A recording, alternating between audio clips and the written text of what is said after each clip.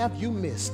What I need you to understand is there is something that God desires to get out of you that the culture needs. Do it for the culture. Hey, God bless you, friends. Do me a favor. If you are excited to be alive, and that carries a different meaning in this day and age, if you are excited to be alive, just give me a thousand hearts right where you are. I'm going to say what I grew up hearing my mother say this is the day that the Lord has made. I will rejoice and be glad in it. God has been doing some incredible things here at Rock City, and I mean this from the depths of my heart. I am standing on tiptoe anticipation to see what He does next. Now, I don't know who I'm talking to right here, but I pray somebody has a little faith. I want you to type next. No, I want you to shout it right where you are. Shout next. Anybody can praise God for now. It takes another level of faith to shout for what's next. Just go ahead and have church with me wherever you are. I'm speaking by faith. My next will be greater. Eyes have not seen, ears have not heard, neither has it entered the hearts of men the great things that God has in store for me next. Somebody, wherever you are, just shout next. We, have been in this series entitled Do It for the Culture, and this is so tantamount to what I feel God is calling us to do as a corporate body. As a corporate body. Corp, corporate, I got a tongue tie. Corporate, am I saying that right? Corporate body. I want to talk about this and really quickly, and this is this is as loud as I'm going to get. This is as loud as I'm going to get. Why, Pastor Mike Jr.? I want to make sure I'm grounding our church. Now, do me a favor, right there at the bottom of your screen, you see it. I want you to take really good notes right there. You have two seasons you have gathering seasons and you have grounding seasons. Gathering is when we're evangelistic in nature. We're trying to reach as many souls as possible. We're trying to fill the church and fill the kingdom of God. This is why we go to arenas. This is why we hold concerts. This is why we're being evangelistic in nature. This is why uh, I'll speak more to this this weekend. Uh, we will be doing I Got It Friday. Do me a favor. I want you to take a picture of that right there because I need you to join what we're doing Friday. It's called I Got It Friday. I Got It Friday. I'm going to send you a link immediately following the service and I want you to click that link because I want to know what you're doing to let the world know and let God know that I'm a part of this mission to say, I got it? Are you going to help pay for somebody's lunch? Are you going to help buy your niece and nephew some clothes? Are you going to help fill up some gas tanks? How can you be a part of what it is God is desiring to do? Somebody ought to just type, I got it. I got it. See, I'm a pause, and I said I wasn't gonna get loud, but I'm getting excited right here. In order to be a blessing, it means God has already made you a blessing. Somebody should have caught that. In order to be a blessing, that means God has already made you a blessing. I don't know who I'm preaching to, but somebody ought to just type, He's talking to me. He's talking to me. Lord, make me a blessing. Ooh, let make me a blessing. How do you know you are where you need to be in God? It's when your prayers are not about what God can do for you, but what God can do through you. Somebody type, I got it. I got it.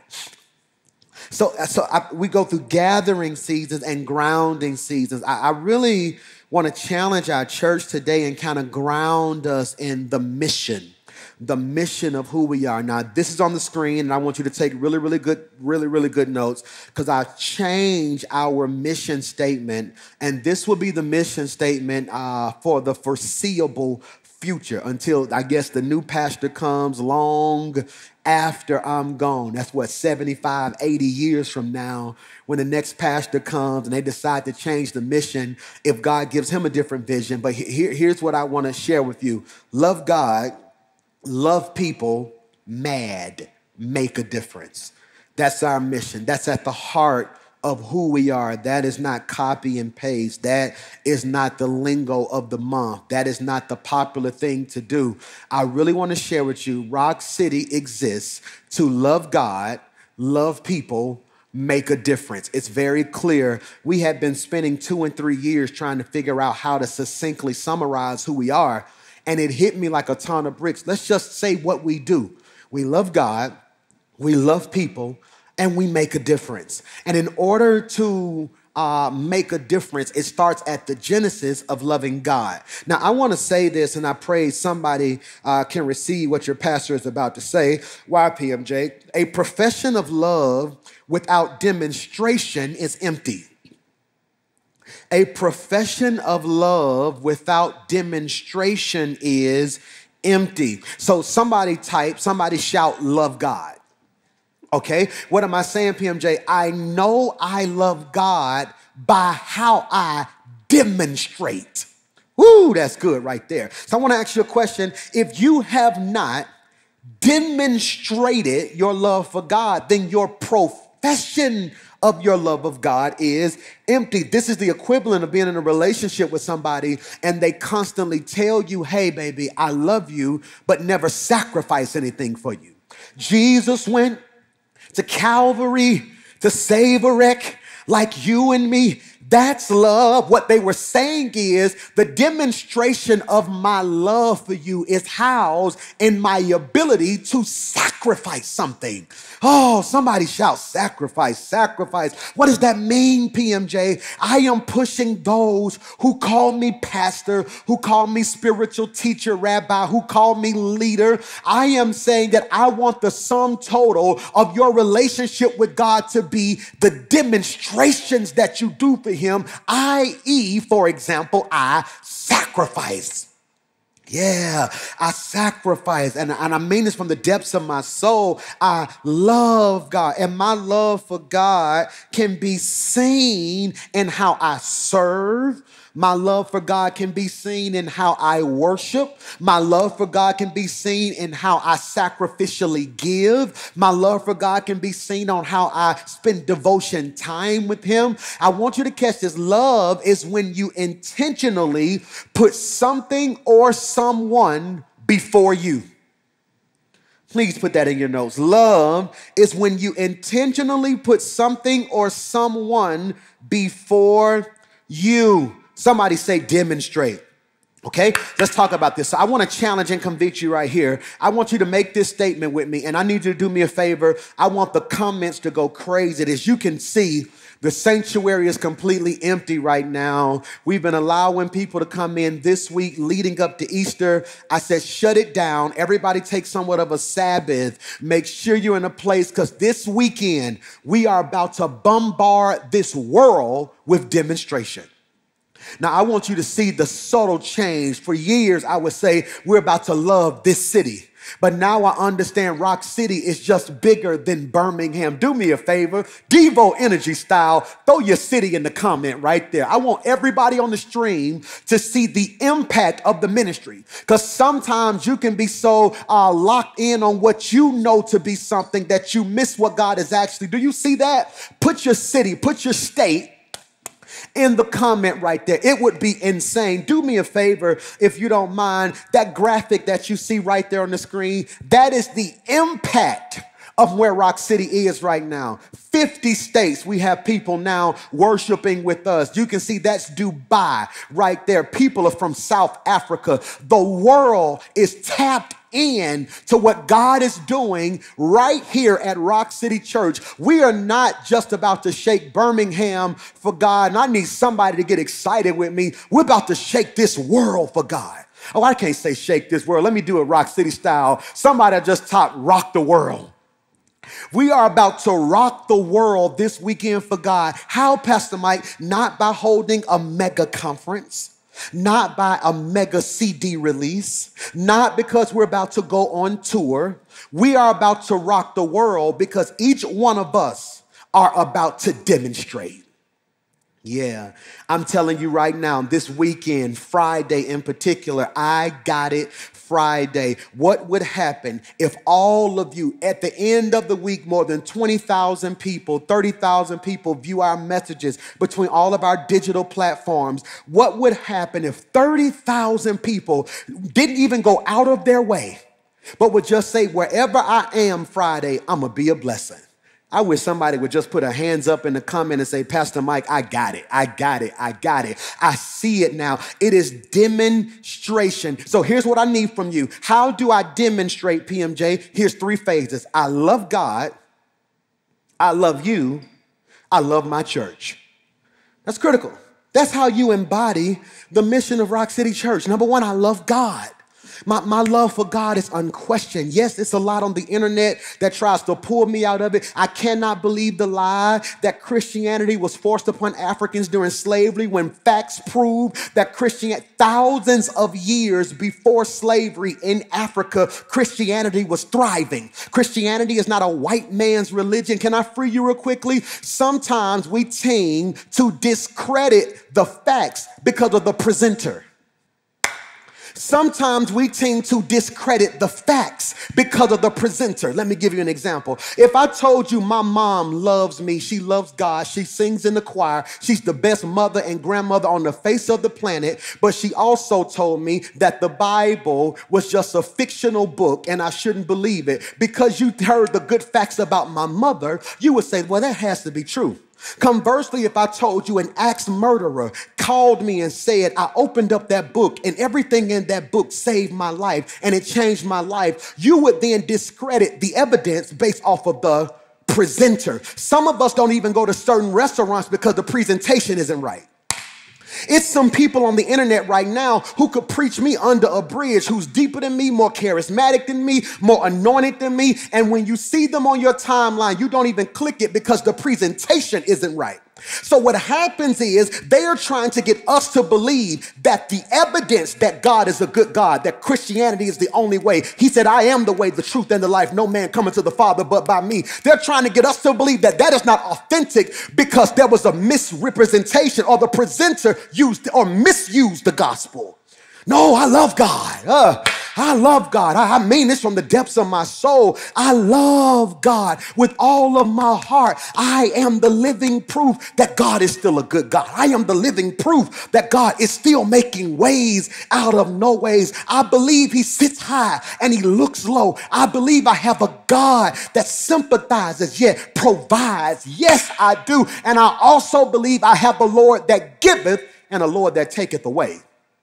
I love God. So that means my theological stance is God is my God. He is my rock and my salvation. It is Him that I lean and depend on. I love God. I love people. Number two, I love you. Now that's difficult. You want to know what I've discovered? I've discovered that it's easier to love God than sometimes it is to love people. Michael, it is easier to love God than it is sometimes to love people. Why, Pastor Mike? Because I've discovered loving God tends to be easy because I can choose when I want to interact with Him. I can paint the picture of the God I like. Many of you know that one of my favorite movies is Talladega Nights when they're sitting at the kitchen table and they get into a theological joust or they get into a theological argument about who Jesus is. And he says, Well, I want to just pray the sweet little baby Jesus. Then his brother Kyle says, that's, that's not Jesus. I kind of picture my Jesus in a tuxedo shirt that says, I'm formal, but I'm also here to have fun. But, but sadly, that's how many of us see God. Some of us, those of you who grew up somewhat Pentecostal of holiness, you kind of view God through this uh, dictator or th- this, this law only Old Testament God that everything you do is evil. Now, don't, don't wear no makeup, you're gonna go to hell. Don't do this, you're not gonna make it into heaven. But then some of us new school saints who kind of see the grace, we tend to lean too far right and say, well, I can do whatever I wanna do, His grace is sufficient. So sometimes how you interpret Christ determines how you love Christ.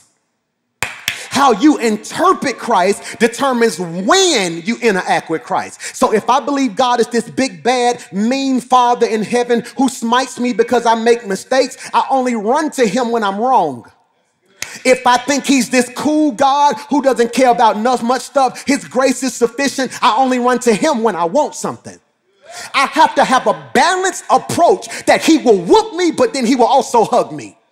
That's for every father who's had to discipline your child. Miles cut the fool at school this past week. I had to go up to the school, check him out, and I had to pop his little butt and say, Boy, you will not say no to your teachers like that. He ran out the classroom, ran around the hallway. I said, Boy, you won't act like that. And after I got through popping his butt, gave him a big old hug, got him some ice cream, and said, Now let's talk about it. Why, PMJ? God is not just a God of hard lessons, He's also a God of hard love.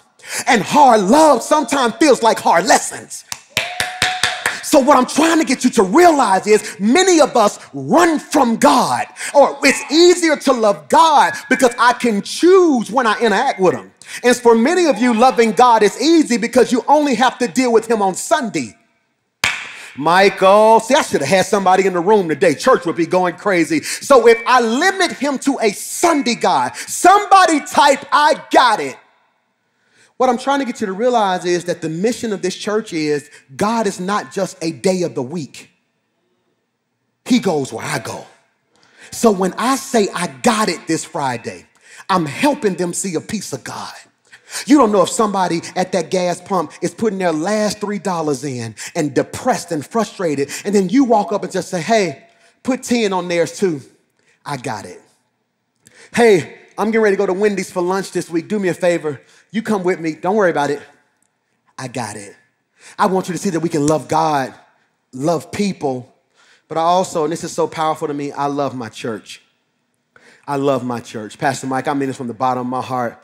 I love my church. I, I, I, mean this that this church is not a perfect church. The people in this church are not angels and saints. They got issues just like everybody else, but I come alive ah, I, I feel like running in here today. And I promise y'all I wasn't going to raise my voice, but I come alive when I'm at Rock City Church. Whether I'm phygital, physical, or digital, I can feel the power of God. And sadly, when it comes to your relationship with God and your church, the question that I have, or the statement I have to impress upon you is don't just tell me, show me. Don't just tell me, Show me. Somebody type, somebody shout, I got it. No, this Friday, I'm asking each and every one of you to join your pastor. We're going to be at several grocery stores throughout this city of Birmingham, blessing people. Imagine just being at the counter and somebody rolls up with their groceries, and we got volunteers right there who say, Don't worry about that. And we swipe our little card and say, On behalf of God and Rock City Church, I got it. I need some of you to sign up to volunteer today. There's the link right there in the comments. Save that link. If you don't mind, just pin that link for me because I don't want you to exit out of the message right now. I want you to be locked and tuned to what I'm saying. Hear me when I say this. It is time for you to show it. Everybody does not need a platform. As you can see, this room is completely empty. It's empty. Maybe four or five people who are here who work here during the day. The room is empty. I want you to see if you're waiting on a crowd, it is if you're waiting on a crowd, it is revealing the intentions of your motives. If you're waiting on a crowd, it is revealing the intentionality of your motives. Don't just tell me, show me. Oh, that's good right there. What better scripture to talk about I got it than Luke chapter 10, verse 30? Jesus replied with the story A Jewish man was traveling on a trip from Jerusalem to Jericho and he was attacked by bandits. Look at that verse line. He is traveling on a trip, listen to this, from Jerusalem to Jericho. There was a traveler. The first thing we got to understand is this brother is foolish. Why? It was the favorite strip where thieves and different people would go to do evil. It was called the way of blood. That's critical. So I want you to see something because so many times when we open this scripture, the first thing we do is run to how there's a good Samaritan. Look at this. This story, let me shift gears and slow down. This story is themed the Good Samaritan. When I could remix it and call it the foolish man. Jesus Christ. The only reason he need help is because he kept making stupid decisions. Jesus. I want to pause and parenthetically digress, and I'm finna sound somewhat antithetical to what I'm saying. I'm telling you this weekend, we're finna be a blessing to people all over this world and let them know I got it But I also want to challenge some of y'all who always need it.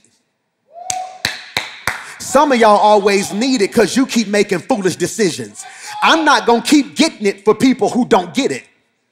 Michael, I, am only preaching to seven of y'all who like, Pastor Mike, I got somebody in mind right now that I'm gonna say I got it too. The only problem is I always got him. That ain't the person this week. No, this brother was foolish. Everybody who lived in this time knew you shouldn't take this road.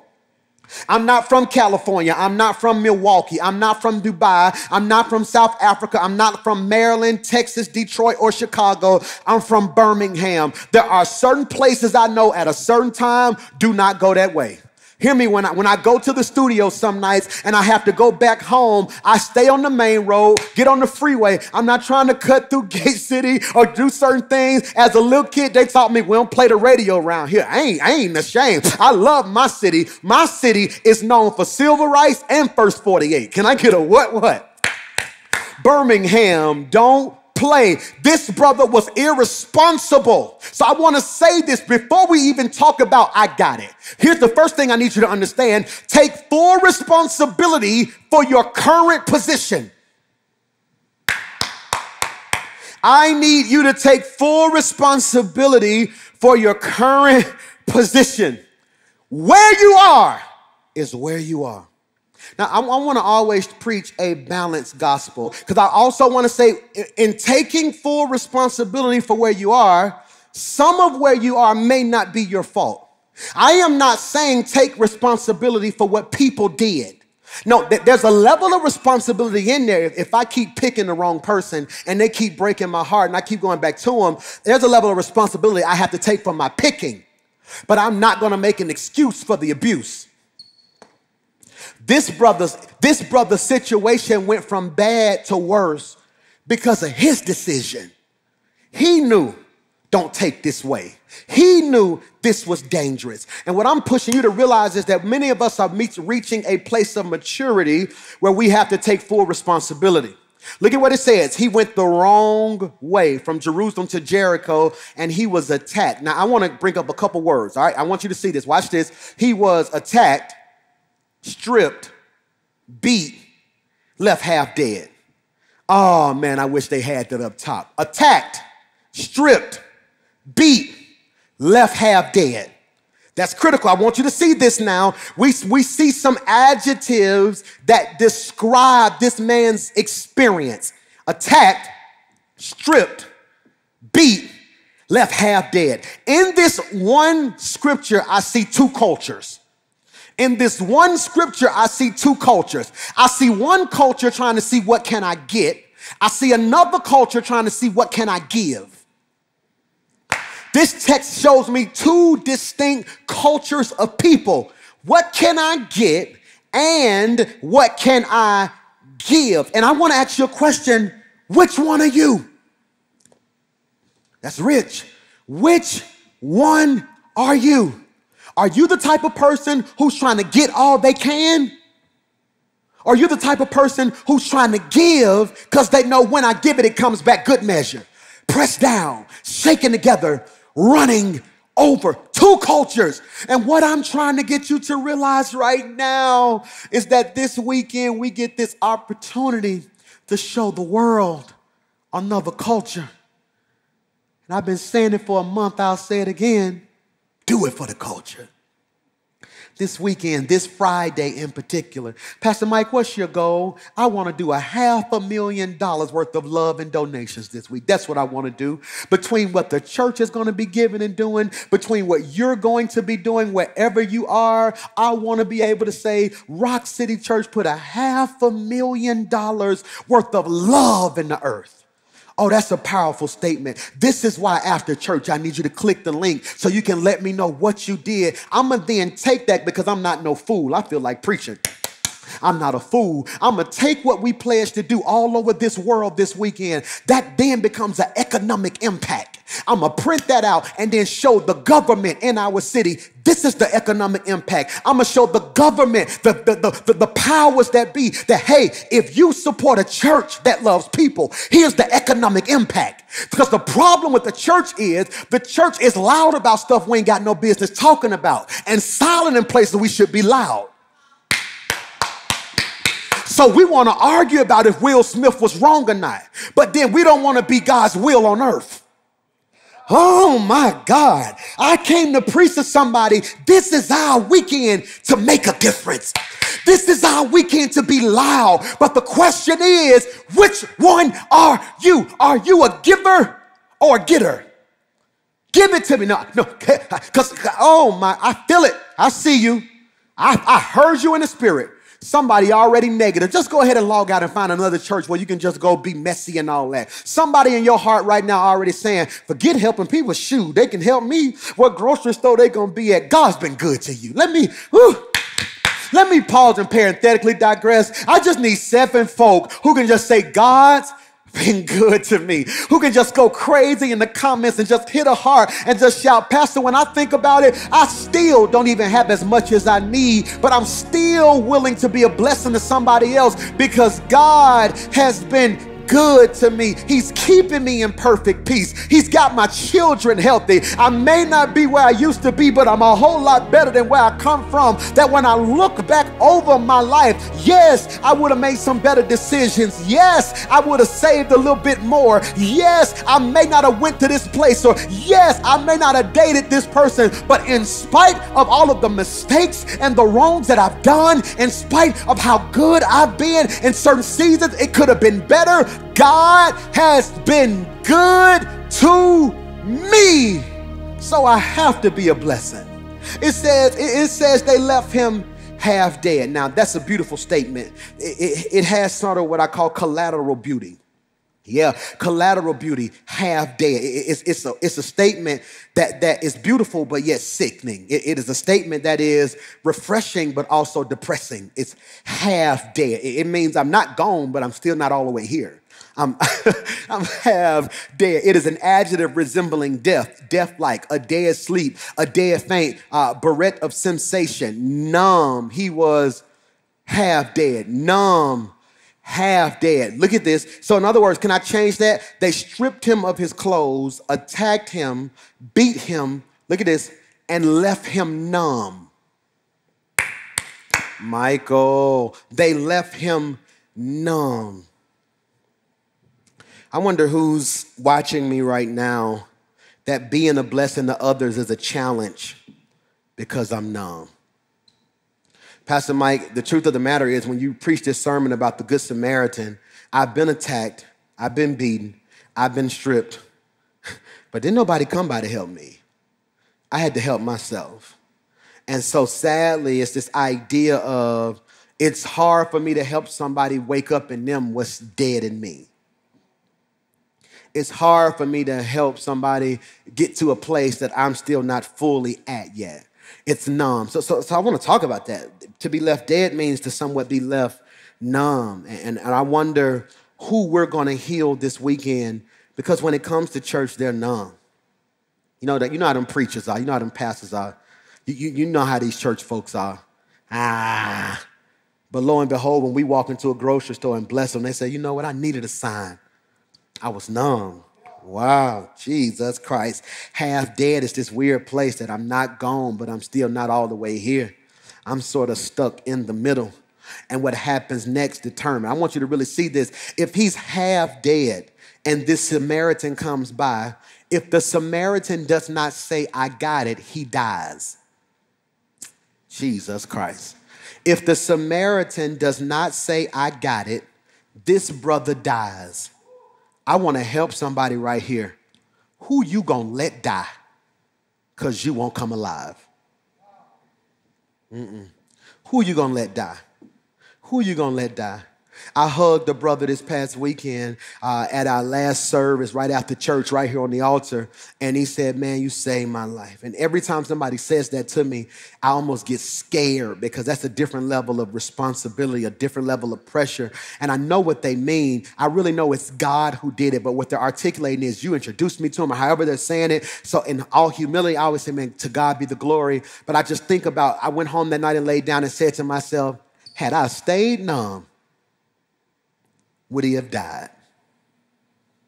Can I help you real quickly? Come alive. Come alive.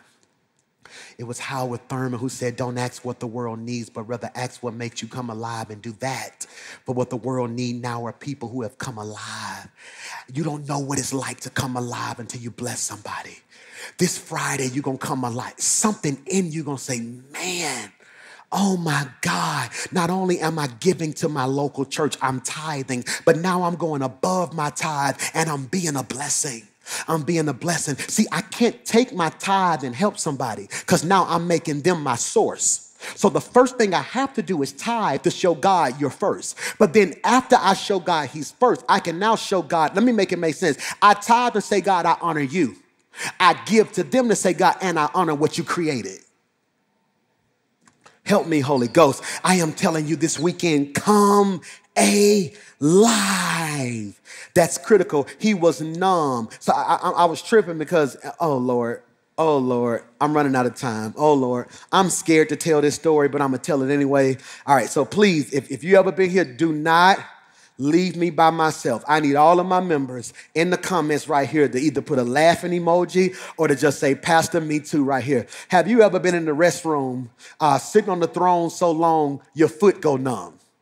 Okay, uh, y'all gonna leave me hanging. And, and, and what you have to do, you have to. you have to wake that thing up, right? Uh, it's, it's, the technical term for your foot going numb is called a sleeping limb. Your nerves are going a little haywire because prolonged pressure has actually cut off communication. Jesus Christ. It's called a sleeping limb. Your nerve, that tingling feeling that you feel in your foot, are your nerves going crazy because prolonged pressure has cut off, not feeling, you missed it, communication between the limb and the brain. Jesus. The tingling sensation is technically called paresthesia. Jesus Christ. Paresthesia, it is the point before paralysis.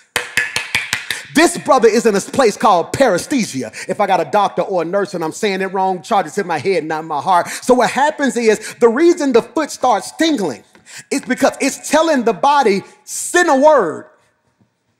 Michael, it, it, it says we haven't had communication in this place in a while. And if we go a little bit longer without communication, this ain't never coming back. Because when communication stops from the head to the bottom, that place becomes inactive. And many of you right now, you're, you're, the tingling sensation of irritation, the tingling sensation of frustration, the tingling sensation of irritability, the tingling sensation of now you're just angry and you can't get rest and just something feels off. Maybe the Lord saying, You ain't had no communication in a while. Can I free you real quickly? Can I free you real quickly? The brain doesn't tell you the foot's hurting. The foot tells the brain something's wrong.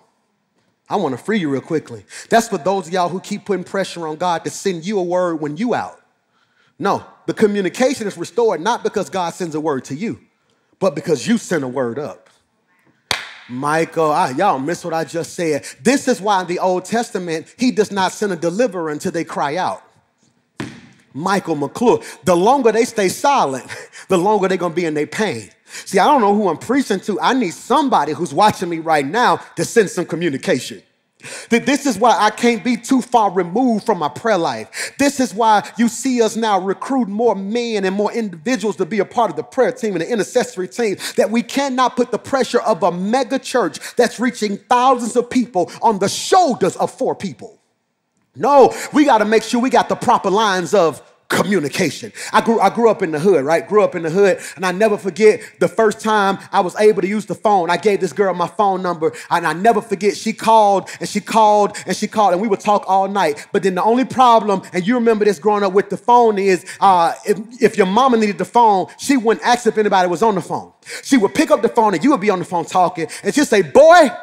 Get off this phone. Let me use my phone. All right, mama. All right. Let me hang up real quick. Hang up the phone, mama. Hang up the phone. All right, I'm going to call you right back, okay? And then I never forget, I met this girl. I never forget her name. Not going to say her name because she may be watching and think she still got a chance. Nope, too late. All right, so, so what happens now is I give her my number and I'm telling her, hey, make sure you call me tonight after seven when I finish my homework. That way we can talk. I get to school the next day and she's like, hey, Mike, I ain't want nothing to do with it. I said, no, forget you. You played with my feelings. I was waiting on you to call me. Then she looked at me and said, I have been calling you all night night, the phone was busy. Now, some of y'all like Pastor Mike, she lying. She for the streets, she lying. No, she ain't. Back then, we didn't have call waiting. You had to pay for that. That call waiting was a feature, not a default. Michael, and I want to argue that the culture sometimes conditions our relationship with Christ. See, back in the day, they had to cook everything and they had to prepare everything. So they, their, their prayer means would be called tarrying. And tarrying mimicked uh, marinating. Then when we became a microwavable generation, now our prayers are quick. Back in the day, if you didn't get through, the line would be busy, which means if you really wanted to talk, you had to keep asking or keep making effort. Now, the first ring, you can get somebody. And what I'm discovering now is many of us are missing God because we feel as if He didn't pick up on the first ring. Jesus Christ. And when communication goes out, things become dormant. Let me free you real quickly, help you real quickly. How do I know I'm numb and half dead? No communication with God, no communication with my man of God. Ooh, I'm trying to ground you this Sunday. No communication with God, no communication with my man of God. I don't know who I'm preaching. I need to hear a word from my pastor.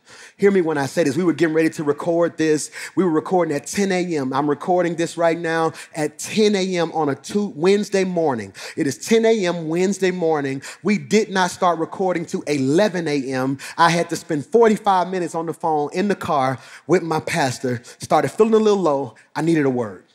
Y'all miss what I just said. I needed a word. I needed a word. I needed a word. I needed a word. And I'm discovering that sometimes the enemy tricks you into believing two things. Number one, that you're not good enough or you're grown enough. Not good enough. Well, I, I can't pray. I've been out here living wild. Or I can't come to church to get a word from my man of God. I ain't been there in three months and I want nobody looking at me funny. Or I'm in my word just like he in his word. Yeah, I pray just like they pray. And if you're not careful, the devil will have you out here thinking you can preach all the time to yourself. One of the most misrepresented scriptures in the Bible to me is David encouraged himself. Can I free you real quickly? He encourages himself in that situation. But then in Psalms tell us all the times he had to ask for help. But pride makes you think that the one time he preached to himself is equivalent to the 150 times he called on God.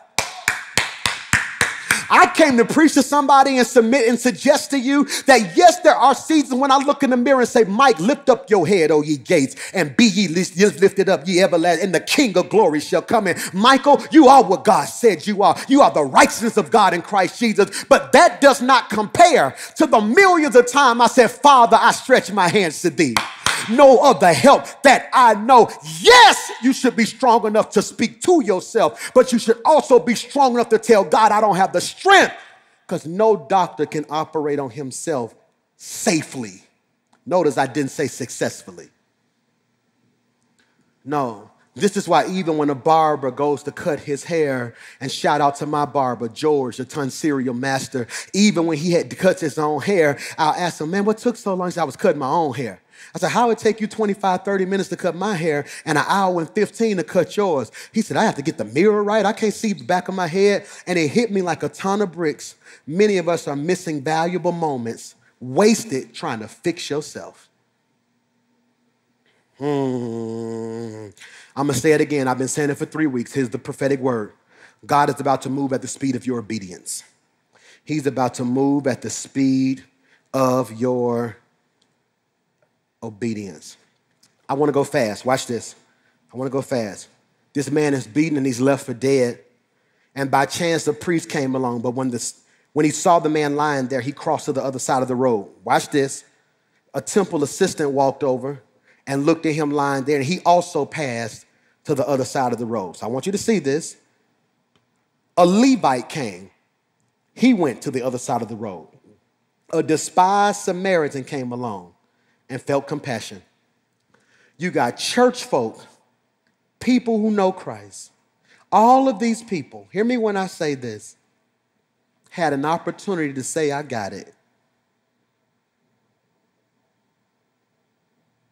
And made a decision. That ain't my problem. Jesus. Jesus. I wonder how many times you see somebody in need and say, you know what? That ain't my problem. I want to free you because this message could easily guilt you into helping people who don't, in my opinion, because I believe the devil will send people as a distraction. Let me pause. I'm going to be very balanced. I believe the devil will send people as a distraction. I believe, I believe the devil will see you trying to tithe, save, and live right and send a cousin who he know gonna take you out of focus. I believe that. I am not telling you to be walking around here helping everybody who's in need. I'm telling you to do the things God placed on your heart. It is the assignment. Hear me when I say this. I don't give because I got it in my hand. I give because he put it in my heart. Somebody ought to just type, it's in my heart. It's in my heart. It's in my heart. I want you to catch this now. The robbers treated him. I want, I want to say this, and I want you to see this, all right? There, there, there's a man who's been robbed, beaten, and left half dead. And it's critical because there's so many perspectives. The robbers treated him as an object to exploit. The priest treated him as an object to avoid. The Levite treated him as an object of curiosity, but the Samaritan treated him as a person to love. I want to ask you, which one of you are you trying to exploit, avoid, just curious, or trying to make a difference? What you trying to do? This is why, this is why you're not going to see any press release go out that here's where Pastor Mike Jr. and Rock City Church is going to be because I'm not trying to do it for the cameras. I'm trying to do it for the culture. This is why I'm not trying to have Fox 6 News outside of every grocery store I'm gonna be at. So now it's 3,000 people in line, knowing I only got enough to only feed probably 55 families because I'm not trying to do it for the cameras. I'm trying to do it for the culture.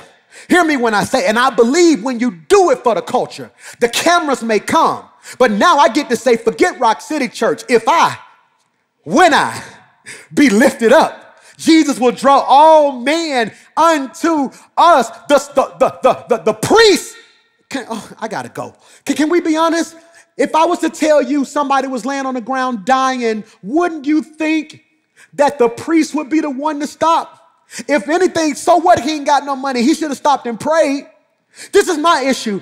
They didn't have to pay for everything. They literally could have just said, Father, in Jesus' name, cover, keep, and bless. What did they do? They walked, on the other side of the street. And this is my challenge to my counterparts, my brothers and sisters of other ethnicities who want multicultural, multi ethnic churches, who have no problem putting people who look like me on your flyer, but you are silent when they're dying. Stop walking to the other side of the street. Yeah, that's the issue I have right now that we always walk to the other side of the tree. Conversely, when it comes to my African American pastors who tend to shun from those in the LGBTQ community and different social issues that you feel like we shouldn't do that, stop walking to the other side of the street. It may be controversial for you to speak your truth, speak your truth. You may get canceled for speaking your truth, speak your truth. But I told you last week, the culture can't cancel what God called. No, this is the season where the world is waiting to see what does the church have to say of relevance, but not just what the church has to say. What are you going to do? Michael. And what I'm telling you is, I may not believe like you, I may not agree with you, but I will not be complicit on walking on the other side of the street. No, if I see somebody hurting, if I see somebody dying, if I see somebody losing faith, if I see somebody who's been exploited and abused and misused, it is the responsibility of those who call ourselves Christians to not run from the fire, but to run into it and say, hey, how can I be a blessing? The priest said it ain't my responsibility. The Levite said it ain't my responsibility. The robber said this gonna be a quick come up for us. And the Samaritan who is looked down upon. The Samaritan is what we would call a mutt. They would call him a half breed. He ain't all this and he ain't all that. That's just a Samaritan. This one person who ain't from church, who don't nobody like, is the main person trying to make a difference. God often sends help from unexpected places. And what I'm trying to tell you is help me when I say this. What if you're the one that God is sending to be an unexpected blessing? Ooh, I'm finna have church by myself. I want to prophesy. Get ready for unexpected but unprecedented blessings. Jesus. Get ready for unexpected but unprecedented blessings. Get ready for somebody you didn't even think was thinking about you to think about you. Get ready for a door to open that you didn't even see coming. Can I prophesy? God's getting ready to open doors you didn't even knock on. You finna get calls from people that you thought didn't even like you. I want to speak that your testimony in the next six months gonna be you'll never believe who I just got off the phone with. And they said blank, blank, blank. And I'm sitting here like, if I can be honest, I didn't even think you like me. God said, I am getting ready to send you unusual kindness.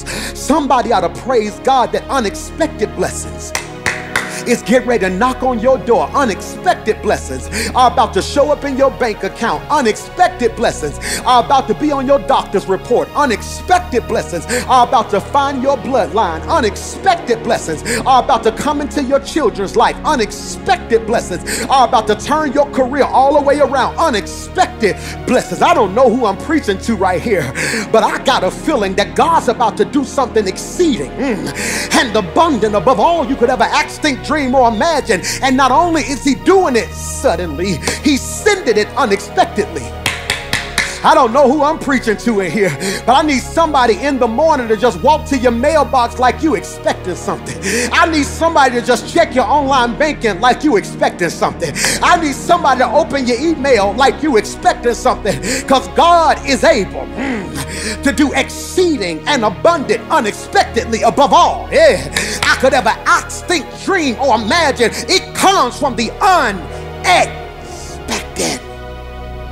the Samaritan is the least likely candidate to say, I got it. and he says, look at this, verse 33 a Samaritan traveling the road came on him. When he saw the man's condition, his heart went out to him. His heart. Look at me. I want you to see the symbol, symbolism. His heart. His heart. What is our slogan at this church, Rock City Church? We have a heart for the city. City is, is a double entendre. The cities that we're in, but also the citizens, the people who are in Rock City, a heart. So look at this. His heart goes out to him. He gave. I, I, we got to go back. We got to go back. I got to stop. I'm over today. Look at verse 30. They attacked, stripped, beat, left half dead. But when the Samaritans show up, look at the adjective. He gave, he lifted, he led. Look at the scripture. A Samaritan traveling the road came on him. When he saw the man's condition, his heart went out to him. And because the condition, listen to me, somebody type, somebody shout, I got it. He just didn't help him because he needed it. He helped him because his heart went out to him. I'm not asking you to just be out here being random. I'm saying if something touches your heart, or I tell you what, this, this is good. This is good right here. This is good right here. Pastor Mike, I'm gonna be honest with you. You just do it. Well, if you're giving today, I want you to put in the line right there, I got it. To say, Pastor Mike, I know you're gonna be a blessing, so whatever God lay on your heart, go be a blessing. Look at what it says right here. His heart went out to him. Look at verse 34. I believe there's no wasted ink in the Bible. Pastor Darius, Pastor Tiffany, Pastor Curtis, there's no wasted ink in the Bible. No wasted ink in the Bible. Make that make sense. The only reason I'm still alive and I have a right to the tree of life is that Jesus said, I got it. I'll touch on that on Easter Sunday. He dies at the age of 33. And in verse 33, his heart went out to him. Look at the action of verse 34. He gave him first aid. Then he lifted him onto his donkey. Number three, he led him to an inn. Uh, please remember that in case we ever have to do a pastors and leaders or any type of leadership training, that's the core scripture right there. He gave, he lifted, he led. This is my heart's desire for Rock City as a church and for all of you as citizens of Rock City personally. Don't put your nose in people's business without putting your heart into their problems. That's the quote of the day right there. Do me a favor to everybody right now who loves being nosy and loves gossiping. Do me a favor. Don't put your nose in people's business without putting your heart in their problem. The mission of Rock City is we exist to love God, love people, and make a difference. Right now, I need you to declare right now, I am a citizen of Rock City. I am a citizen of Rock City, and I'm ready to make a difference through my giving. I'm ready to make a difference through my lifting. I'm ready to make a difference through my leading. He gave first aid. He lifted him on his donkey. He led him to an hotel and made him comfortable. Giving, lifting, leading. Can I break that down? Giving my time, my talent, my treasure. I want to say it better. Giving my time, my talent, my tithe. Lifting, encouraging people, empowering people, and equipping people leading, instructing, inviting, and investing. So when I give, I give my time. I sacrifice this weekend and say, hey, I'm gonna be a part of this. For those of you who gonna volunteer, you're giving your time. My talent, these are those who you see on these cameras right now. D. Jerome, one of the best photographers in the world, if you need your pictures, he does that. That's his talent. He's giving his talent back to the ministry. My tithe, that is biblically 10% of your increase. When God puts something in my hand, the minimum for me, 10% is coming back to God through my local church. What's my local church? Not just the place that I'm on roll at, but the place that has my heart, the place where I am fed by my spiritual leaders. I get my word from, my inspiration from, lifting encourage, empower, equip. We lift every morning on Devo Energy. That's what lifting is by encouraging people, by empowering people. We had flipping females, and shout out to Tiffany and her crew. They did a phenomenal job a week and a half ago at the Flipping Female Conference on how to flip properties and get involved in real estate. What did she do? She empowered. She said, Here's the information I learned. I am not going to keep it to myself. I'm going to place it in your hands so now you can become powerful in what you desire and equip Number three, we lead by instructing practical instructions. This is why you got to join Pathway to Purpose. This is why I'm excited for you to hear more about Rock City Plus. It's instruction, invite, inviting people to be a part of all of our worship experiences, investing in what God is doing in our community. This is why we have the school. This is why we're trying to do more with our nonprofits so we can be an investment into the communities that we love. Hear me when I say this past problems should lead to present compassion. Past problems should lead to present compassion. Can I ask you a question? What bothered you growing up and what has been a problem in your life that you don't want nobody else to experience. It's not hard. I got it. It's not hard. Pastor Mike, growing up, I can remember we had to wait on food stamps and we had to wait on, on all of a sudden they'd give us that big old block of cheese and it was horrible. And I couldn't stand the way they treated us and said so and so, so and so.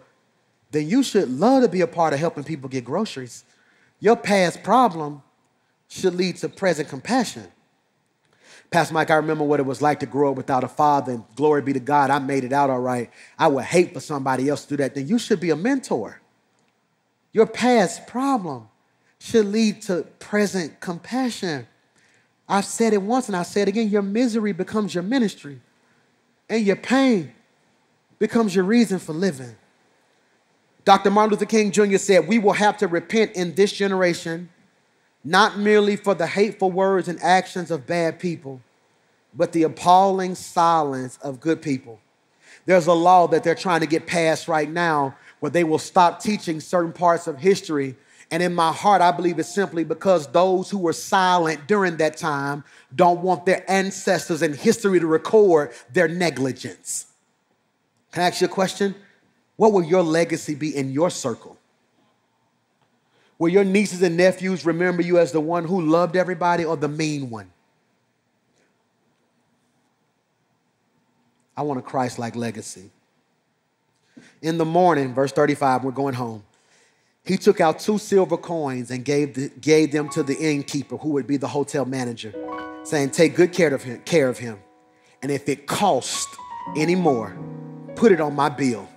I'll pay you on the way back. In other words, can I modernize, McClurize, and contemporize it? Whatever he need, give to him. I got it. Look at verse 36 and 37. Which of these three do you think proved to be a neighbor to the man who fell in the robber's hands? And he said, The one who showed mercy toward him. Then Jesus said to him, As I say to you, go and do the same. Everything I've read to you is not just a scripture in the Bible, it is red letter. It is what Jesus was saying. He told this story when he was explaining on how to be a neighbor. Love your neighbor. I hope you understand the unique opportunity we have as a church that if we're going to be a mega church, we got to do some mega stuff. And this weekend, I mean this from the depths of my heart. I want us to go above and beyond. Look, do me a favor. Look at that right there. We filled arenas. There were more people in that room than we can imagine. We've done that. Look, look at this right here. We've performed on some of the biggest stages in the world. You see that? We went to other states and toured and did concerts. Now is not a time for calling people to us. It is a time for us to go to people. And I am asking each and every one of you to say, Pastor Mike, I got it. Father, in Jesus' name, I pray that their heart has been convicted and challenged to be what you've called them to be. I pray that we will not look at people as something to exploit, something to avoid, or not just be curious, but we will be moved to compassion to make a difference. It's in Jesus' name. Amen.